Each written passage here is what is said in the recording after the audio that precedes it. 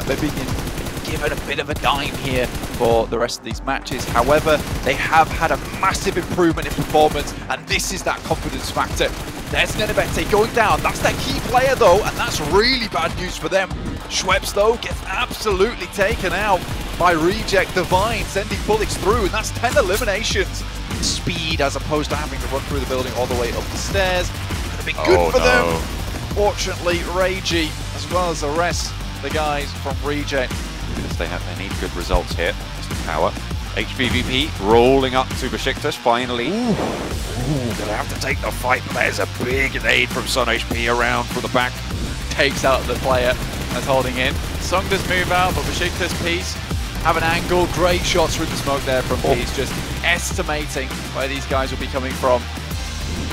Ragey still sending shots, 100% not getting back up again. Chimes in from Reject as they try and flink away a couple of the points, and will be able to do so, in fact.